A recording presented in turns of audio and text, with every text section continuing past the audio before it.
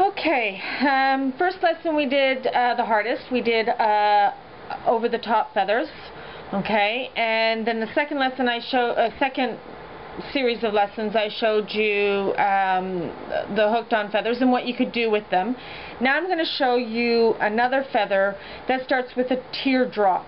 Um, these are kind of good. They don't have any backtracking.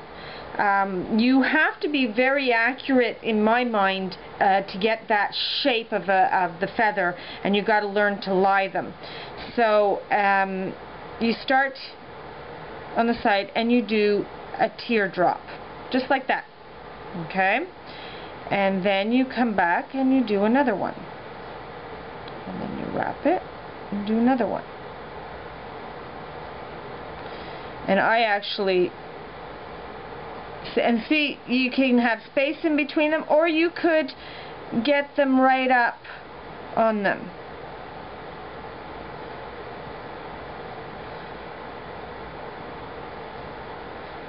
Okay.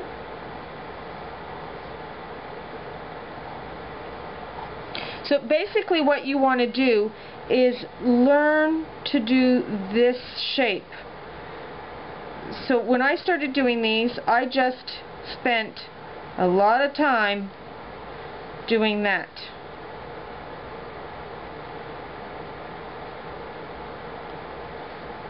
You know?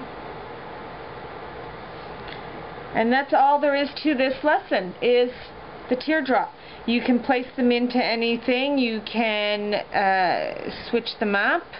You can put a stem in there if you want.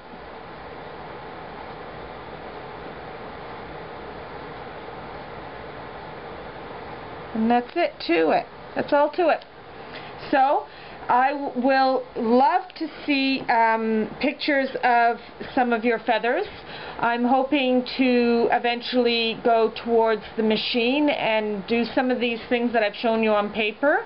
Um, that's what I'm hoping to do. so post on my wall. Um, I, would love to see your feathers and what you've been doing uh, and practicing, okay? And it doesn't have to be on the machine. It can be just on paper. If you have any questions, post on my wall and I'll be more than happy to answer. I hope you have enjoyed these lessons and I hope to uh, hear from you all um, about what you've been doing. Thank you.